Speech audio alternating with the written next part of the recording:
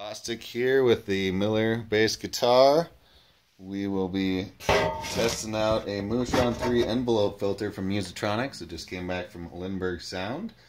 Got a true bypass put on it as well as the on off green LED. I've got the drive up, the range is low, peak is at about 10, gains at 3 in the low pass mode, and uh, just give you an idea what it sounds like all tuned up here. You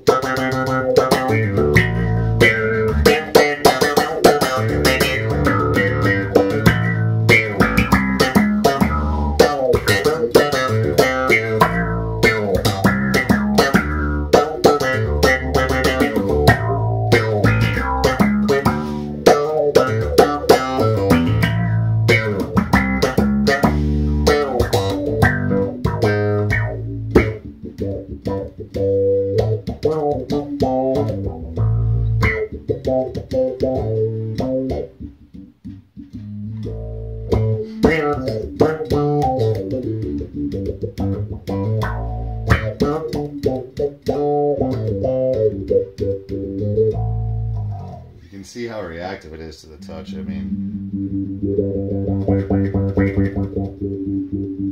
very touch sensitive as far as what makes the envelope go. Kind of bring it out. Um, the peak makes a big difference too. If you want just a lighter envelope sound, you can turn the peak down quite a bit.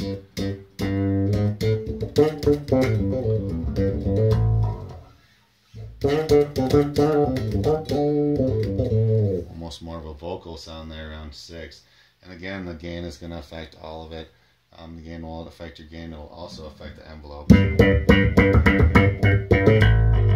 So you might even need, depending on what your favorite setting is, uh, you might need an equalizer pedal as well to kind of boost the volume when it's on. There's your, there's your dry volume. It's about equal there, but if you want to go back and get a little more, close on the quicker close on the envelope, um, you're a lot louder there. So you might need to have something in a loop that your equalizer pedal kicks on at the same time and gives you that little extra boost if you really want to.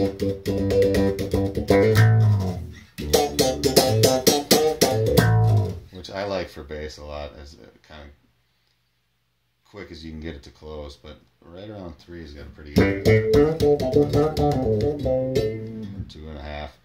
Um, again, your peak affects it. Then, of course, you've got your kind of the blend between the two.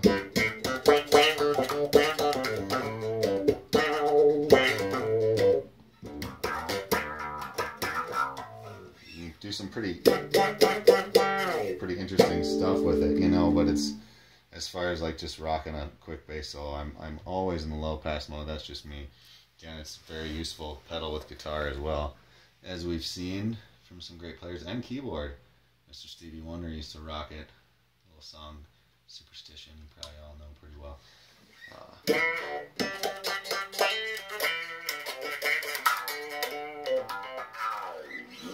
so there's your uh, high pass sound, and you know I've used I use that for like an intro to a song. It's really got some really cool uh, uses in the recording studio, as well as you can use it live too, kind of do an intro and then kick back into your full tone. But on bass, it, it lacks a lot of the bass, and obviously you can.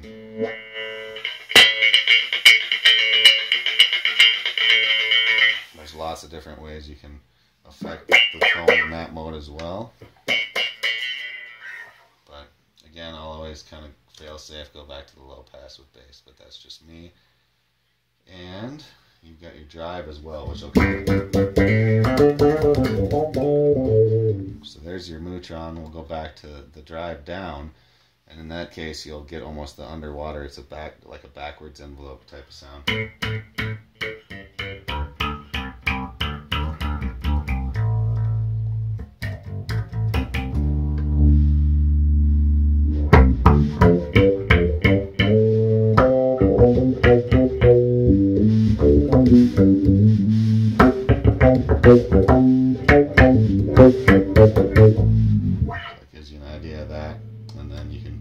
Range to high as well.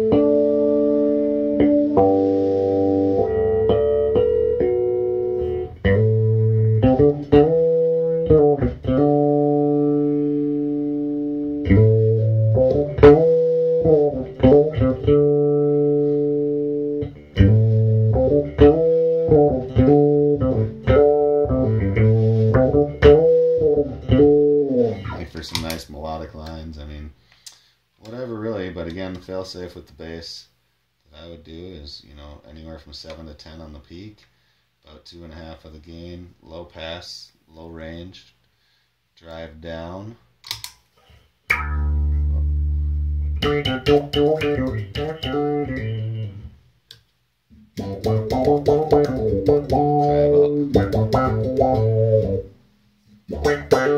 Up.